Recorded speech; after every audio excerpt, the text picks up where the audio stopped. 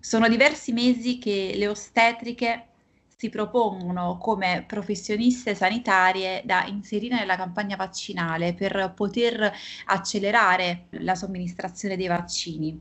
Per quale motivo le ostetriche sarebbero titolate a svolgere una mansione di questo tipo e quale contributo potrebbero offrire all'interno della campagna vaccinale? La prima domanda è molto semplice rispondere perché sulla base di un regio decreto le ostetriche storicamente erano riconosciute eh, dall'alto commissario, sto parlando degli anni 30-40, riconosciute come le professionisti in qualità di ostetriche condotte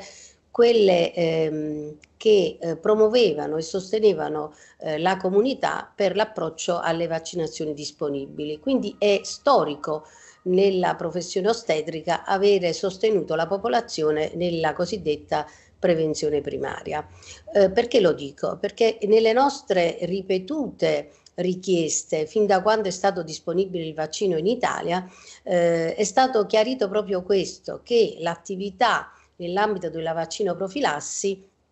è proprio una specificità della professione ostetrica, ma che faceva e che fa nell'ambito di specifiche eh, attività vaccino di vaccino profilassi, mi riferisco alla eh, vaccinazione HPV, eh, in tutte le fasce di età, mi riferisco alla vaccinazione per la rosolia, eh, quella per la pertosse che si fa in gravidanza, quella per l'influenza che si fa in gravidanza, quindi eh, è un qualcosa che eh, ci ha messo veramente politicamente in crisi quando il commissario Arcuri ha emesso il decreto nel quale ehm, faceva l'elenco dei eh, professionisti vaccinatori e non includeva l'ostetrico. Quindi da quel momento la federazione ha ripetutamente richiesto eh, che le ostetriche fossero ammesse, anche quando adesso eh, agli inizi di marzo è cambiato il commissario e quindi è intervenuto ad Arcuri il, ehm, un militare, Figliuoli,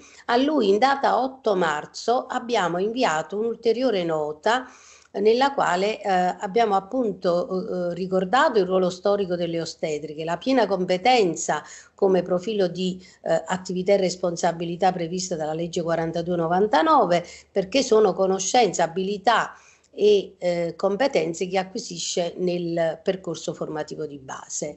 Eh, qual è la perplessità? È che nel momento in cui c'è la competenza, c'è la disponibilità, ma se non c'è qualcosa che va a modificare quello che è il decreto Arcuri, eh, potremmo avere delle difficoltà in termini di eh, mancata eh, garanzia che in caso di eh, evento avverso l'ostetrica possa, essere, eh, possa rientrare in quella che è la copertura assicurativa.